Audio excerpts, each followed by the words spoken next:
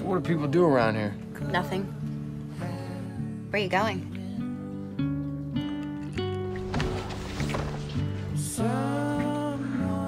You got a kid? No, it's my brother. And my sister. Where's your parents? They said they were going to Florida, and then they didn't come back. I just lost my job. I need a cheap place to rent. Well, we sure could use the money. I was never one to little road trip might do you some good. Oh, no, I can't go anywhere. There's this girl. She's got a heart, you know? We know her. She's got a heart. Listen.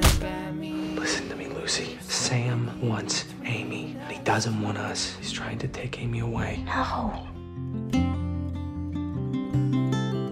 Amy Bear, is that you? What are you up to? You were always creative.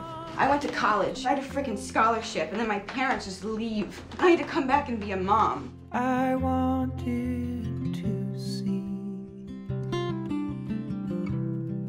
I wanted to open. See, I was reading this book, and there's this woman, and she gets lost. And when she gets lost, she can't get back. But you can. See, you can get back. That's what happened to me.